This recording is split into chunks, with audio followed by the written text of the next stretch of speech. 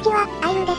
皆さんはこのバグを知っているでしょうか？そうそのバグというのが早速修正されたこれ。そのバグの内容は、ペペロンチーノであることをすると、無限ダッシュしてしまうというもの。そしてそのバグを活用すると10億超えのスコアを出せてしまうことから、このように現在は修正中というわけです。では、バグを起こすためのそのあることとは何でしょう？それはズバリ、ボーナスタイムに入る際に、2回目の能力を発動しながら入る、というもの。それにより、ボナタイから帰ってきた後、2段階目の能力のあの速度で無限にダッシュしてしまう。その速度というのが、勇者のダッシュとほぼ同速。ただでさえ無限ダッシュはやばいのに、めっちゃ速い状態で無限ダッシュするからさらにやべえ。ちなみに自分で再現するのはバグ利用みたいであれなので、意図せず動画撮ってた人にその動画をもらいました。修正されてから公開する倫理観の高さに惚れますね。ちなみに今は修正中だからペペロンチーノ使えないよ。じゃあ早速その問題の VTR を見ていくんだぜ。どうやら口チャレのボナタイのようだね。ちなみにこのバグはボナタイがあるならどこでも発動するらしいよ。凶悪すぎるっぴ。ちなみにこの語尾はタコピーじゃなくてキスケを意識してるよ。どうでもいいよ。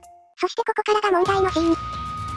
もうなんかやばいとしか言えないわね。ペペロンチーノの構えが妙にこの無限ダッシュにしっくりくるんだぜ。普段は少しの距離しかこのダッシュは行われないけど、それでもブワーンって発動すると爽快感あるもんね。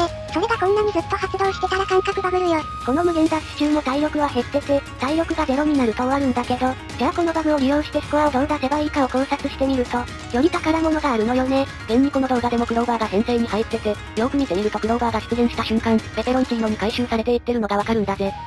ちなみにこのバグの発動方法が、2段階目の能力中にボーナスタイムに入る。だから、その条件を満たしてるので一度このバグを起こしたら、再度ボナタイに入っても戻った時にまた同じバグが起きるよ。逆にボナタイでもあのダッシュしてたら楽しそう。ボナタイは一時の休息タイムだな。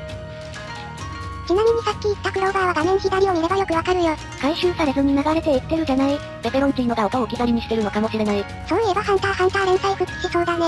健康を損なわない程度に連載してほしいそれでこのバグを利用して最高のスコアを出せる編成は、多分エンジンと距離宝物の鳩とランプだよね。エンジンはダッシュ時間長いと恩恵増えるし、ランプと鳩はエンジンともシナジーあるしダッシュにぴったり。このダッシュにエナドリが反応するなら、エナドリが最強ね。ずっとエナドリの効果が後ろからゼリー発生するの見れたら気持ちよさそう。これボナタイ何度も入ってるけど、多分同じボナタイに何度も入ってるってことだよね。キランのステージはある程度まで走ると、同じ形状のステージを繰り返すことになるんだけど、多分ダッシュが速すぎてそれを繰り返してるってこと思う。ペペロンチーノの口チャレ走ってないから間違ってるかもだけど、おそらく2つ目と3つ目のボナタイは同じだと思う。体力のせいでピンクボナタイ入っちゃってるけどね。そんな感じのやべえ不具合の動画でした。現在修正中につきペペロンチーノ使えないし、修正終わったら再現できなくなるからあれだけど、こんなバグもあったんだよって動画でした。ご視聴ありがとうございました。よかったらフレンド募集とかできるクッキーランのディスコグループ入ってねコメント欄にリンク貼っておくよ。ではのし。おつぶたー。